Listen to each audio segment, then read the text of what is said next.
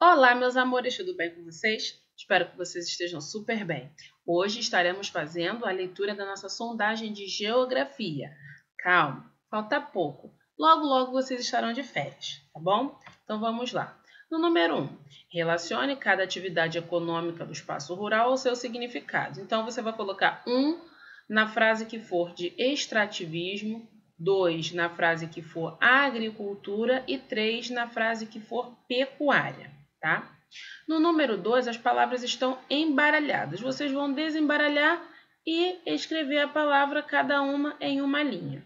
Número 3, você vai colocar V para o que for verdadeiro e F para o que for falso, de acordo com cada frase aqui, ok?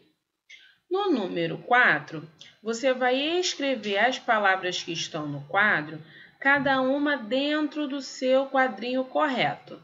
Você vai ler a palavra. O que for de origem vegetal, você vai escrever aqui. O que for de origem animal, você vai escrever aqui. E o que for de origem mineral, você vai escrever aqui.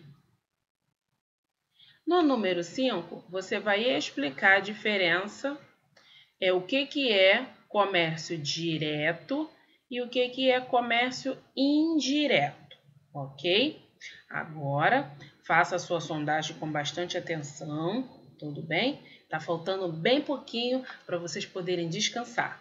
Um grande beijo, Feliz Natal para todos!